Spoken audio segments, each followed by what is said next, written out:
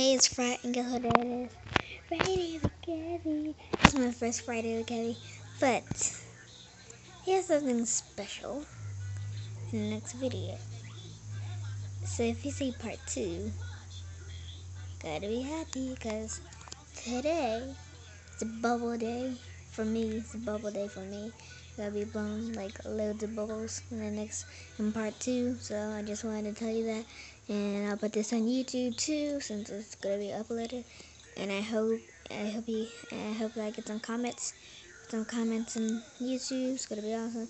I hope you do, and I'll see you later.